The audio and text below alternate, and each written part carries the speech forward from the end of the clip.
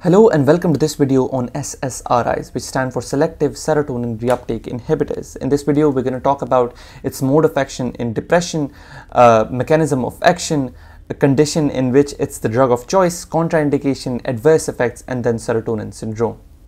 Serotonin and depression. What is serotonin? Serotonin is a neurotransmitter. It's released into the synaptic cleft. What is a synapse? A synapse is a connection between two neurons in which the axon of one neuron releases particles on the dendrite of another neuron. What are these particles? These particles are the neurotransmitters. Serotonin is a neurotransmitter. Different type of neurotransmitters have different effect. Serotonin is related to depression. How is serotonin related to depression? It has significant effects on the automatic emotional response meaning how you respond to things becomes better. Re- people react more positively more happily to things. That leads to a positive change in order in uh, in addition to that these are just some physical things these are some physical changes that have been studied with more serotonin in the brain. So that there's hippocampus that's a part of the brain proliferation and then neuroplasticity meaning uh, brain basically proliferates and brain changes in response to something. So neuroplasticity proteins increase in number. These are the changes that serotonin has in the brain What's the mode of action of SSRIs, selective serotonin reuptake inhibitors? So, if you focus on the word itself, what does that mean? Selective, meaning they selectively uh, affect on some things. What do they affect on? Serotonin. They selectively act on serotonin. What they did, what do they do? Reuptake inhibit. So, they basically inhibit the reuptake of selectively only serotonin. Only serotonin. That's what they do selective serotonin reuptake inhibitors. The name itself is very descriptive. They increase the serotonin in the synaptic cleft. We talk about the synaptic cleft. It's that gap between the connection between two neurons. So that in itself is the mode of action of SSRIs. So this is the synaptic cleft. As I said this earlier, this is the axon of one neuron, the dendrite of another neuron. So there's something, there's a channel known as 5-HT3. 5-HT3 is another name for serotonin. So they block this channel, they inhibit this transporter. So let's talk about the clinical use of these medication of SSRIs. So they're indicated as first line for both major depressive disorder MDD or generalized anxiety disorder. So you might have a case you might have a question in which the patient presents with a with a feeling of loss of interest sleep disturbances decreased appetite uh, suicidal ideation. That's a case of major depressive disorder. And now they might ask you what's the drug that you will prescribe? What's the therapy that you will prescribe? And you will say for SSRIs and the same goes for generalized anxiety disorder. So the patient might present with you with a more generalized worry about thing an impending impending sense of doom that something bad might happen in the first line drug for generalized anxiety disorder. Now these are the sort of questions I'm, I'm trying to get you to understand what sort of questions might present.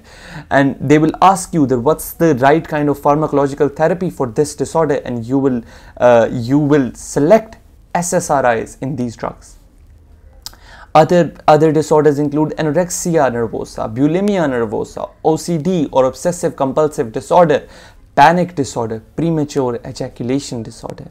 Now, this is something we'll talk about premature ejaculation disorder and why it's useful in this particular thing. Contraindication, hepatic and renal failure. So in patients with hepatic, this is not in uh, in particularly uh, renal failure. This is not necessarily on contraindication. Renally adjusted doses can also be prescribed. So epilepsy and manic phase particularly of the bipolar disorder. Now this is important for you to remember because in a patient so the patient might present to you in a clinic in the depressive phase of a bipolar disorder and if you prescribe an SSRI you might precipitate a manic phase in that particular patient. So we need to be careful about not to prescribe SSRIs when in the depressive episode of a bipolar disorder and you need to take history of that patient very carefully if they have episodes of mania, of impulsivity and in those phases if you if you think that the patient might have a bipolar disorder we go for mood stabilizer instead of ssris so remember in bipolar disorder you need to be careful not to prescribe ssris because they might pre precipitate a manic phase in the patient. Now, before we go on, you need to remember the names of these medication or have an idea of what the names might be. So for that, I need you to remember these two pictures. The picture of these two teens here, these two teens, and this baby sitting in a pram. So the story that you will need to remember are, is that these teens are going to a prom in a pram. Now usually uh, teens might go in a limo, but these particular teens are going to prom in a pram. Now let's see how that might relate. So the names of these medications usually have teen in the end of them. So teen, sertraline, uh, fluoxetine, paroxetine and sertraline. Sertraline you're going to remember in your rotations very easily because it's, it's a very commonly prescribed drug. So in mnemonic, so teens are going to prom in a pram and that's another name for a stroller which is the, which are the other two medication escitalopram and citalopram. So that's how you're going to remember the names of these medications. It's a funny mnemonic, but it might help you remember these drugs on the exam day. Now let us talk about the adverse effects of SSRIs, the selective serotonin reuptake inhibitors.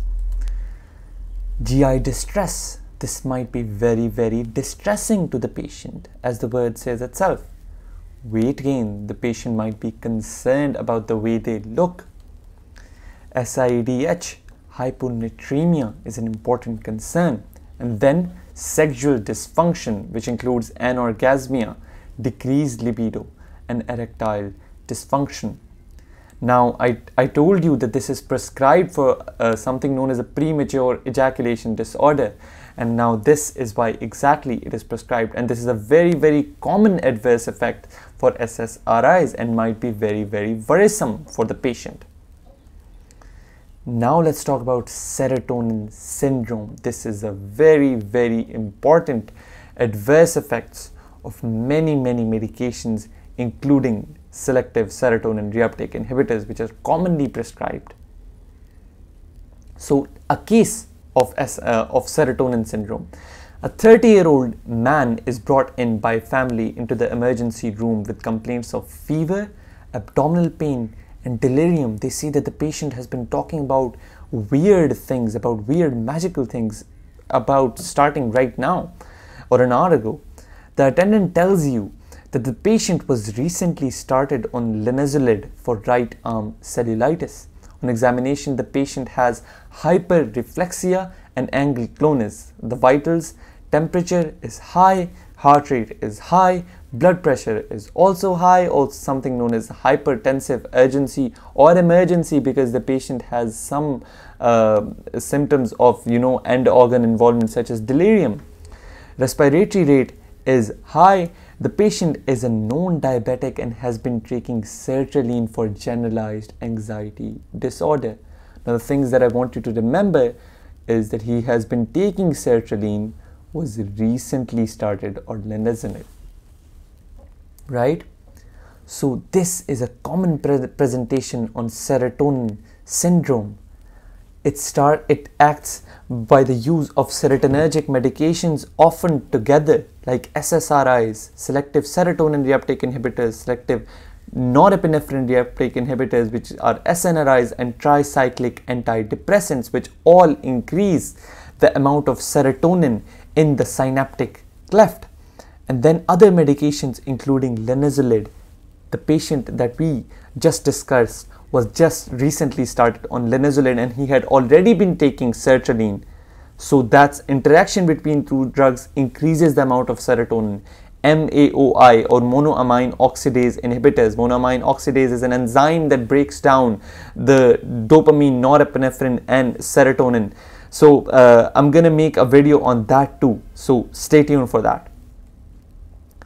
MDMA, which is a drug which is commonly used, that also increases, that's a stimulant that increases the amount of uh, serotonin in the synaptic cleft. Intentional overdose of these drugs. So, what is SSRI or SNRI prescribed for? Depression, anxiety. The patient might want to end their life and might overdose on these medications. It might present with an intentional overdose. Clinical features Dysautonomia. What is dysautonomia? Dysautonomia means an aberrant activity, a faulty activity of the autonomic nervous system. What is the autonomic nervous system? Autonomic nervous system is the balance between the sympathetic nervous system and the parasympathetic nervous system. What do they do? Sympathetic nervous system is the flight or uh, fight or flight response. Increase the blood pressure, increase the heart rate, increase the respiratory rate. We're gonna fight with this. That's the sympathetic nervous system. The parasympathetic nervous system, which is the rest and the digest part of your brain. It, it's like chill, calm down. I'm sitting in my room. I'm making a video. You need to calm down. You need to be cool that's the parasympathetic nervous system. You disrupt the balance between these two. You have hypertension, you have tachycardia, you have diaphoresis, which is basically increased profused sweating. Dysautonomia, very common feature.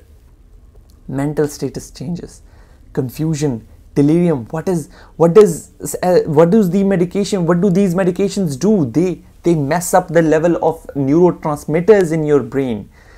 Obviously, you'll have confusion, you'll have delirium neuromuscular hyperactivity, tremors, clonus, hyperreflexia. Now, this is something that you definitely need to remember. This is something by which you will differentiate serotonin syndrome from other syndromes, such as neuroleptic malignant syndrome or malignant hyperthermia. And the antidote for this is cyproheptadine. The antidote for serotonin syndrome is cyproheptadine. Now, how are you going to differentiate between neuroleptic malignant syndrome and serotonin syndrome on the exam day? The onset of neuroleptic malignant syndrome is 1 to 3 days. The onset of serotonin syndrome is less than 1 day. Very quick onset. Altered mental status and dysautonomia in both of these, that's something similar. How are you going to differentiate? You have rigidity in neuroleptic malignant syndrome. You have clonus in serotonin syndrome. What is clonus? Clonus is when uh, you dorsiflex the patient's ankle clonus in particular, when you dorsiflex, if this is towards the patient face, you dorsiflex the clonus, you, uh, the ankle of the patient, and then you let it go and it's, it's, it like tremors or it, it moves by itself. That's clonus. So you have hyporeflexia in NMS and you have hyperreflexia in serotonin syndrome. Then malignant hyperthermia. Malignant hyperthermia differs by its onset. Malignant hyperthermia usually occurs by the use of inhaled anesthetics and also succinylcholine. I have a I have a video on both malignant hyperthermia as well as neuroleptic malignant syndrome. So if you want to watch that, you can go to my channel and I'll add a link in this video as well. Now let's quickly talk about the summary of SSRIs. Serotonin is a neurotransmitter. SSRI inhibit the reuptake of this neurotransmitter. SSRIs are first line for generalized anxiety disorder and MDD or major depressive disorder. Adverse effects include sexual dysfunction, precisely why it's prescribed for premature ejaculation disorder, and weight gain, SIADH, serotonin syndrome is a very, very important adverse effect that you need to remember. Thank you so much for watching this video. This video is a part of our series on psychiatric pharmacology. So if you want to watch the rest of those videos, please go to my channel, subscribe and press the bell icon. And if you want to if you want me to make a particular video on some topic, write in the comment section. Thank you so much for watching.